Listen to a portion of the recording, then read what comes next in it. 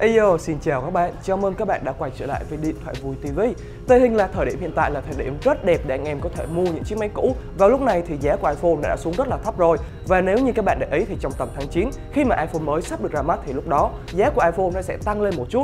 Điển hình như là năm ngoái khi mà iPhone 11 nó đột nhiên đã rớt giá và trước khi iPhone 14 được ra mắt, ngay lập tức iPhone 11 lại quay xe và tăng giá và đến thời điểm hiện tại iPhone 11 lại rớt giá so với gần bằng giá của năm ngoái. Và lúc này là lúc rất đẹp để các bạn có thể lựa chọn cho mình những chiếc iPhone cũ. Vậy thì các bạn đã biết cách để test những chiếc iPhone cũ hay là chưa? Vậy thì để mình hướng dẫn cho các bạn cách test iPhone cũ trước khi mua nhé. Ok, let's go.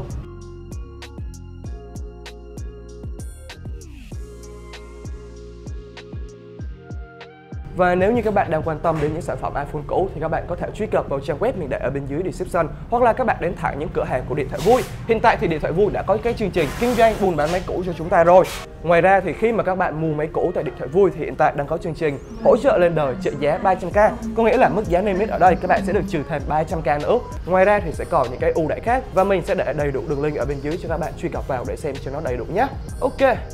Và việc đầu tiên chúng ta nên test những chiếc iPhone thì iPhone nó cũng giống như con người thôi. Ngoại hình thực sự nó quan trọng đấy. Nếu như các bạn nói rằng các bạn mua iPhone nó cũng được, nó chơi cũng được Rồi chúng ta sẽ lại đeo ốp Thế nhưng nó sẽ có nhiều vấn đề nếu như các bạn đang mua một chiếc iPhone bị cấn móc hoặc chơi. Vấn đề đầu tiên, nếu như các bạn sử dụng một chiếc iPhone như iPhone XS Max này Nó đã được từ 4 đến 5 năm tuổi rồi. Và vấn đề chảy là vấn đề hoàn toàn rất là bình thường. Nó sẽ có những cái vết sức dâm ở trên máy. Ngoài ra nếu như một chiếc iPhone không bị cấn móc gì cả Thì điều đó đồng nghĩa với việc chiếc iPhone này nó rất may mắn nó có thể chưa bị rơi vỡ, hoặc là nếu như nó bị rơi thì nó đã có ốp lưng để bảo vệ. Còn nếu như trong trường hợp một chiếc iPhone đã bị cấn, nó lại còn mới tinh, nó không bị chảy xước, nó không chảy, nó không móc, nó không bể. Vậy thì rất có thể chiếc iPhone này nó lại bị cấn, rớt, bể màn hình và đã bị thay màn hình rồi. Ngoài ra thì nếu như những vết cấn này nó quá to thì rất có thể chiếc iPhone của các bạn đã bị va đập mạnh. Và nếu như một thiết bị điện tử bị va đập mạnh như thế thì cũng không ai đảm bảo rằng liệu những cái phần linh kiện bên trong nó có hoạt động được ổn định hay không. Và nếu như chiếc máy đáp ứng đầy đủ nhu cầu cho các bạn về mặt ngoại hình, nó đủ bắt mắt các bạn thì các bạn cũng đừng quên test những cái khớp nối giống như thế này. Ở đây thì mình có một chiếc iPhone XS Max, nó đã được thay màn hình rồi và cái màn hình này là màn hình zin bóc máy của Apple. Và các bạn có thể để ý kỹ ở đây, nó sẽ có một cái phần cấn khi mà các bạn cậy màn hình lên. Và cái phần cấn này thì bình thường chiếc iPhone sẽ được đeo ốp rất là kỹ. Và nếu như rớt ụp mặt xuống dưới thì nó sẽ không cấn ở đây. Mà nếu mà rớt ụp mặt thì màn hình của chúng ta nó rất có thể nó bị bể luôn. Đó, thì khi mà các bạn kiểm tra máy cũ thì các bạn cũng nhớ lưu ý cái phần viền màn hình của chúng ta, liệu nó có bị cấn hay không? Ngoài ra thì các bạn cũng nên để ý cái phần viền màn hình này, liệu nó có khớp cái phần keo hay không, nó có khớp đầy đủ hay không? Nhưng mà mình thực sự phải nói rằng, hiện tại thì các anh pháp sư Trung Hoa đã làm màn hình rất rất là tốt và nó sẽ không có quá nhiều điểm khác biệt nếu như các bạn so sánh với màn hình Xin đâu. Và thêm một đặc điểm nữa đó là hai cái phần ốc vít ở cái cụm loa ở đây. Nếu như các bạn để ý hai cái phần ốc vít này, nó bị vặn ra quá nhiều, nó hơi chảy một chút hoặc là mình dùng cụm từ là chê chết một chút, thì rất có thể chiếc iPhone của các bạn đã bị gỡ ra rất nhiều lần rồi. Tại vì cách duy nhất để chúng ta gỡ được iPhone là phải tháo hai con ốc này ra.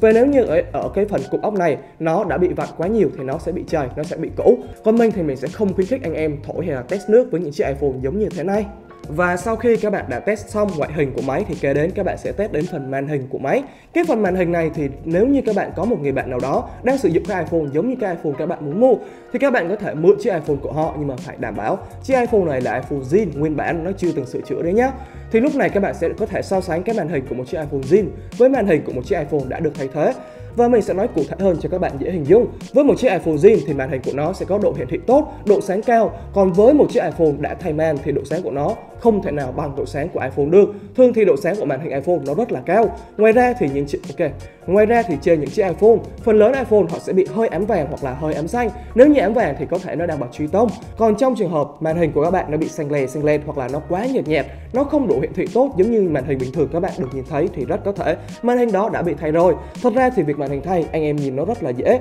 Nếu như anh em thường xuyên sử dụng một chiếc iPhone zin thì khi mà anh em sử dụng sang một chiếc iPhone với màn hình đã thay rồi, ngay lập tức anh em sẽ nhận ra được điểm khác biệt. Nó sẽ không sáng bằng, cái độ hiển thị của nó cũng không bằng. Ngoài ra sẽ có thêm một cách nữa để cho các bạn test màn hình, đó là các bạn sẽ tải ứng dụng vô hoặc là các bạn sẽ có những cái ứng dụng sẵn trên màn hình. Các bạn sẽ ấn giữ giống như thế này và các bạn sẽ di và nếu có chỗ nào nó bị hở ra thì rất có thể đó là điểm chết và chúng ta sẽ không cảm ứng được.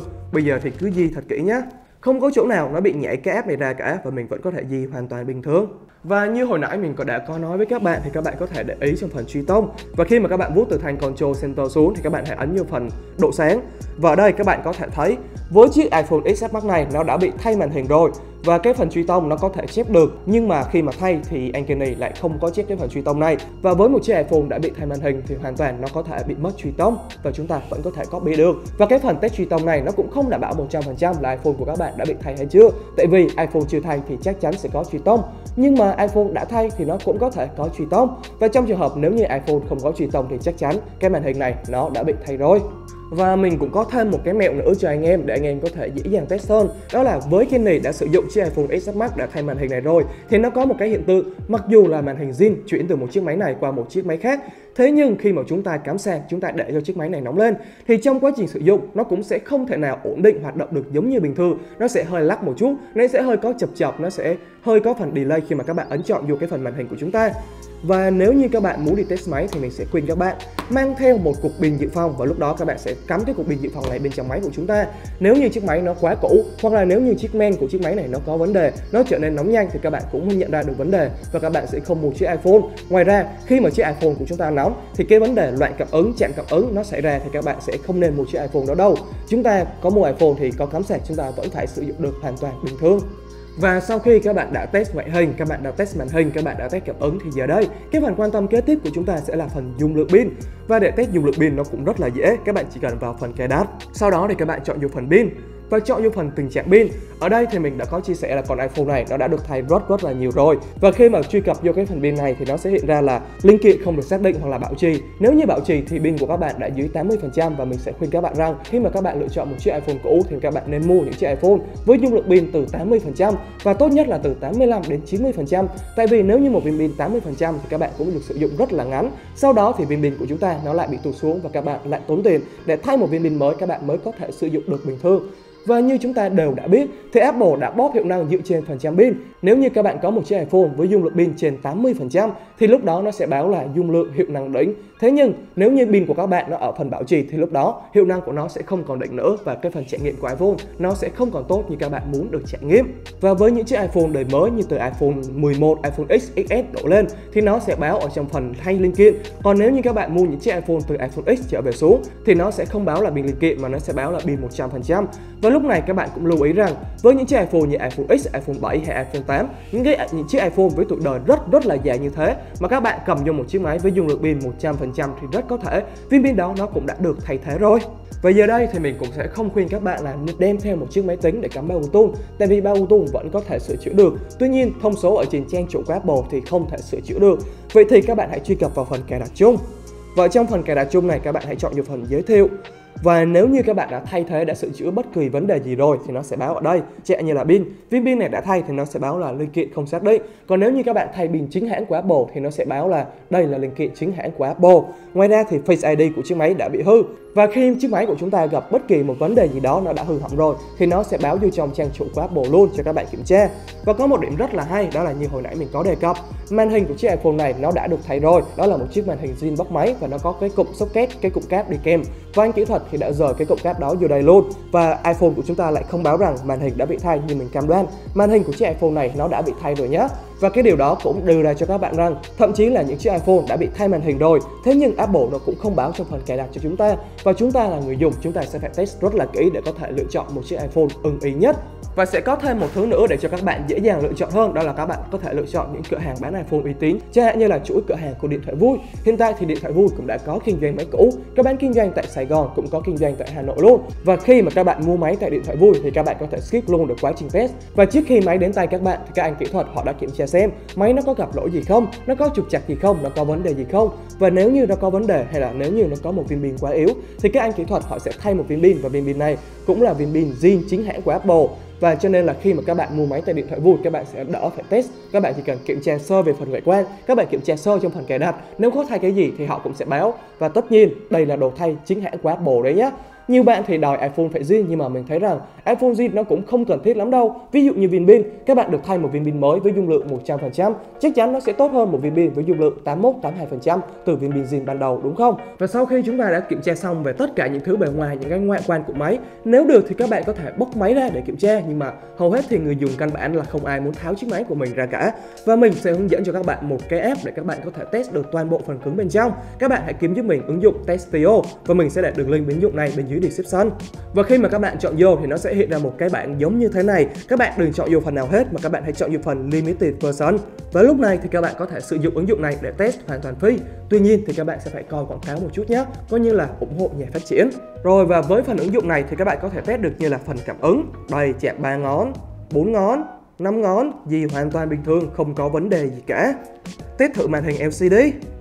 Nhảy từng màu cho các bạn coi luôn. Và với ứng dụng này thì các bạn chỉ cần tải ứng dụng một lần mà thôi. Các bạn sẽ test được đầy đủ phần cứng ở bên trong. Đây mình thấy ok. Và khi mà các bạn kiểm tra màn hình giống như hồi nãy mình vừa kiểm tra Các bạn có thể dễ dàng kiểm tra coi nó có bị hở sáng ở đâu không Nó có vấn đề gì với màn hình của chúng ta hay không.